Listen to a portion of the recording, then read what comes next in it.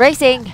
Showing early from the middle is Hwaengungol gets the fast start and inside is 정상대길. Following there is 천년 함성. 천년 함성 getting into stride and going on is still Hwaengungol. Hwaengungol goes on and 천년 함성 joining and narrowing down from the outside there is 백두광장. Still going on is Hwaengungol and just around there is 천년 함성. Racing wide out there, joining them, King ahead. But going on is Hwangungol and second is Cheonyeon Hamsung inside of that one. Cheonyeon Dege. And following in the green cap, Changyoung looking for some chance just around the outside. New World Star. And outside fifth, it is King ahead. And just behind those, sixth place, Baekdugwangjang. And now getting the lead still from the middle is Cheonyeon Hamsung.